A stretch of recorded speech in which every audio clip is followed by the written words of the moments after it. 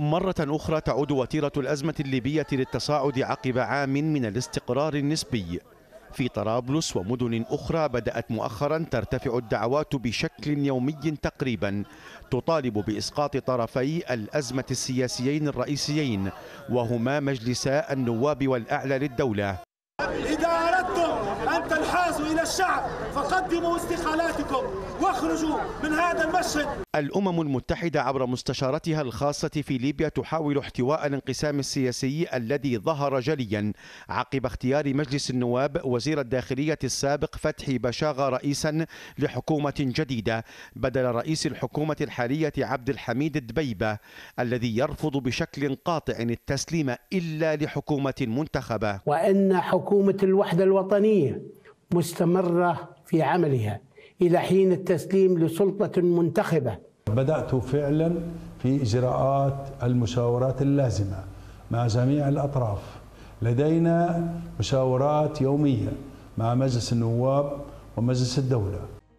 لقاءات المستشارة الأممية بالقادة السياسيين وفي مقدمتهم رئيسا مجلسي النواب والأعلى للدولة تهدف إلى الحفاظ على الاستقرار في العاصمة وفي أنحاء البلاد كافة خوفا من حدوث صدام مسلح في هذه المرحلة التي توصف بالحرجة.